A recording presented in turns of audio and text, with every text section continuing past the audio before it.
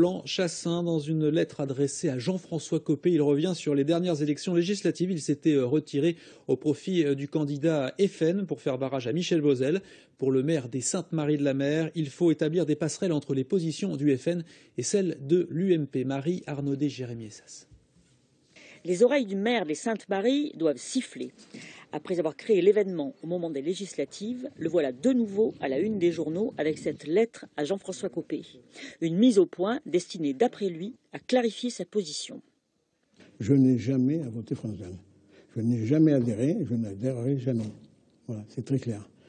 Mes passerelles, moi, sont très claires, je vais vous l'expliquer. Hein. Ce n'est pas des alliances, c'est récupérer les sympathisants ou même des militants hein, FN qui soient égarés. Lutte contre l'immigration, l'insécurité, l'assistanat ou l'ouverture des frontières. Voici quelques-uns des thèmes clés de Roland Chassin. Des thèmes sur lesquels il partage des positions avec la candidate du Front National.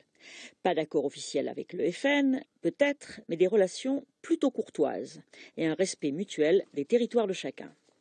Ça va de soi pour moi, puisqu'en fait, euh, si vous voulez, je ne vois pas pourquoi on irait, entre guillemets, embêter M. Chassin sur, euh, sur sa commune aux législatives, j'ai fait 72% sur la commune de M. Chassin, c'est-à-dire qu'ils ont entendu que sur la commune des Saintes, bah, les électeurs ont, respecté euh, ce qu'a dit Roland Chassin pour les législatives, c'est-à-dire qu'on a les, mêmes, euh, les mêmes visions pour l'avenir de notre territoire. Roland Chassin est délégué UMP pour la 16e circonscription. Il en reste donc le patron jusqu'aux prochaines élections internes au sein de l'UMP.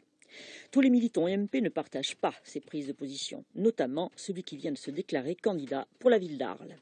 Roland Chassin euh, ne me représente pas euh, et ne représente pas globalement euh, ce qui est porté sur ce territoire. Ces options divergentes dans la 16e circonscription ne sont finalement que les reflets du clivage profond qui divise actuellement l'UMP. Dans les Alpes de Haute-Provence,